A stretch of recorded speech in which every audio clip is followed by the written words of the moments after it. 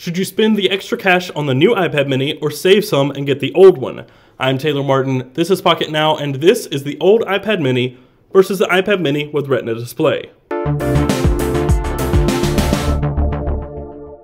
Last year, Apple released the first edition of the 7.9 inch iPad lineup, dubbed the iPad mini. Compared to its full sized iPad sibling, the mini was seemingly a bit of a trade off a cut in power and quality in favor of additional portability, thanks to a reduction in both size and weight.